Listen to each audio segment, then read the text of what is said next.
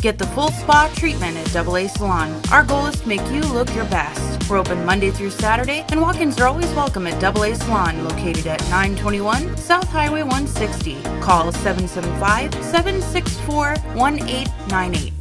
Senators Jacky Rosen and Catherine Cortez Masto announced that $4.8 million will be coming to Nevada in order to increase clean energy transit options at Harry Reid International Airport. These funds are to be used to purchase 12 electric buses and charging stations in order to transport passengers as well as reduce the carbon footprint of the airport. Senator Rosen spoke on the matter, stating that Harry Reid International Airport is the main gateway for Las Vegas, bringing in visitors and supporting our tourism economy. I'm proud to announce they're receiving nearly $5 million in federal funds to boost its clean transportation infrastructure and reduce its carbon footprint.